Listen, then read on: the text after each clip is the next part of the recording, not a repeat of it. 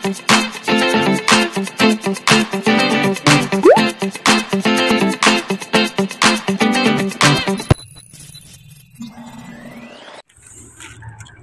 guys, ah good morning sa inyo lahat. Ngayon ay gagawin na natin tong ano, ah fountain.